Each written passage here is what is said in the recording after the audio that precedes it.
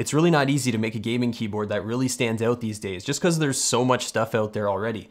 But Roccat, maker of PC gaming peripherals, decided to give it a shot with the Vulcan 121 Aimo. Let's check it out.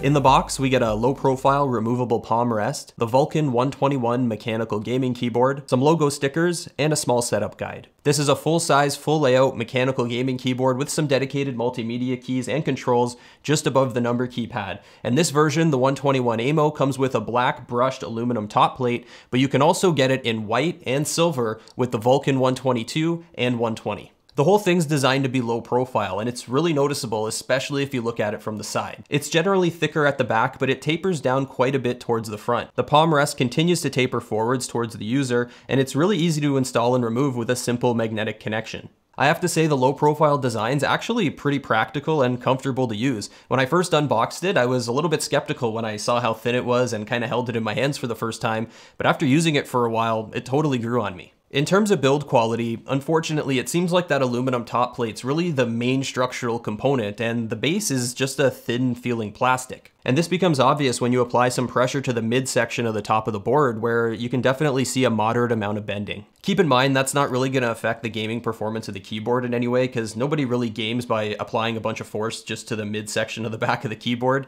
It's just a test that I like to do when I'm testing build quality when I'm reviewing keyboards, just gives me an idea of how rigid the frame and the build is. On the bottom, we've got one level of adjustment with the flip out feet and lots of soft rubber grippy material. The board doesn't seem to have any issues staying put on my desktop or on a giant cloth mouse pad. The most noticeable feature on the Vulcan 121 has to be the super slim keycaps and exposed key switches. This is what really makes this keyboard unique. Keycaps just feel like they're made of ABS plastic and they have a significantly reduced height compared to standard keycaps, but they still retain the same spacing and surface area. So even though they're super thin, you don't really notice it when you're using the keyboard. It just feels like a normal keycap underneath your fingertips. The slim keycap design has a few benefits. For example, they're really easy to remove, they make cleaning around the keycaps and around the faceplate of the keyboard really easy, and they leave the switches mostly exposed and visible, and it turns out that improves the look of the backlighting by quite a bit, and we'll take a look at that in just a minute. Now let's talk about the switches. This board uses Roccat's own Titan mechanical key switches, and the Vulcan 121's available with linear reds or tactile browns, and the version that I'm reviewing here today is equipped with the browns. The main idea with the Titan switches is that they're supposed to enable key presses to be read at an earlier point after actuation compared to competing keyboards. These Browns have a 1.8mm actuation point and 3.6mm total travel distance compared to 2mm and 4mm on Cherry MX Browns. Roccat says this results in a speed boost of up to 20%, but in practical use I wasn't really able to notice a difference. What I did notice though was that the tactile bump feels very pronounced and occurs really early in the keystroke. It kind of gives the keys a nice responsive feel. I'd say it feels a bit better than the MX Brown tactile bump. When it comes to the sound, it's pretty much what you'd expect from a keyboard with tactile mechanical switches, but there is one annoying downside, and it's that I can hear a bit of a ringing sound after completing key presses.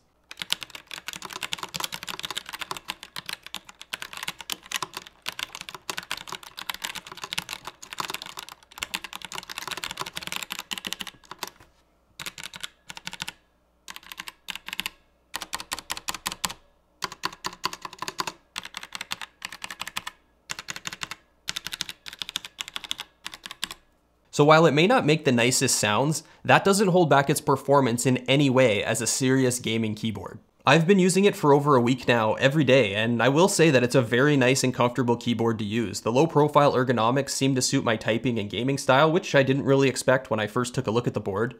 I liked playing FPS games with it, the keys were easy to find and press during fast-paced gameplay, and overall, I'd say it's definitely a competitor in the premium gaming keyboard market as far as performance goes. All the configuration and customization for the keyboard is going to be done through Roccat Swarm software. In here we have five different memory profiles where we can save different settings, and a profile manager where we can give each one of those a name so that it's easy to keep track of what they're for.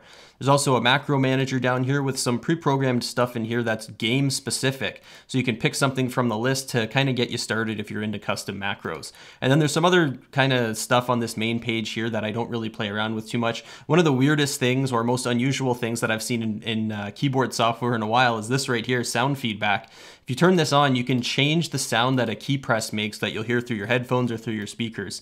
Um, personally, I wouldn't want to do that, but uh, it's there if you want to take advantage of that. Key assignment allows us to reassign the default functions for each of the individual keys on the board. And we've got a menu over here with some pre-programmed stuff, just like we saw with the macros. And it's actually searchable, so you can just come over here and type something in, and if there's something there, it'll come up, and it's easy to apply to whatever key that you're looking to change. And also, if you don't like looking at the keyboard this way, you can just click List View, and it'll show you all the keys just like this here. Key illumination is where we can take advantage of all the crazy RGB lighting effects built into this keyboard.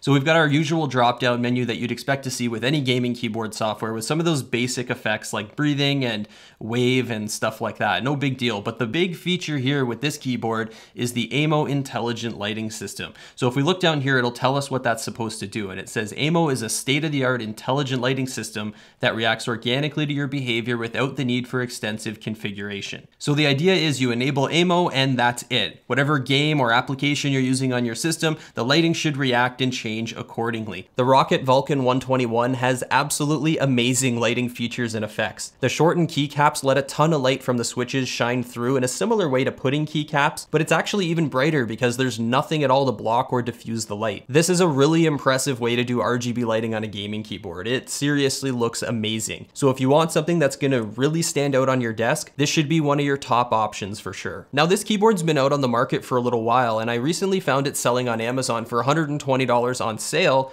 marked down from 160. At $120, I think this is really a non-issue. Like I can totally recommend this. You're getting a really good gaming keyboard for $120 um, you know, highly recommended at that price. But if it's at $160, it may be a little bit harder to justify for some people because it does have a few downsides. Things like that kind of thin feeling plastic uh, bottom layer, the plastic base, no USB pass-through port, which is kind of a nice thing to have on a premium gaming keyboard, but that's missing here. And then you've got that ringing sound that comes from the key switches, unfortunately. So, you know, if you're looking at it and it's full price and you're kind of debating whether or not you should get it, I would say ask yourself these two questions to help decide. Number one, how much do you care about RGB backlighting? And number two, um, do you want something that looks like everything else out there, or do you want something that's really unique and different? If you answered a lot and yes to those questions, then this is probably for you, and I think you'll probably be happy with it, and it'll be you know well suited to what you're looking for.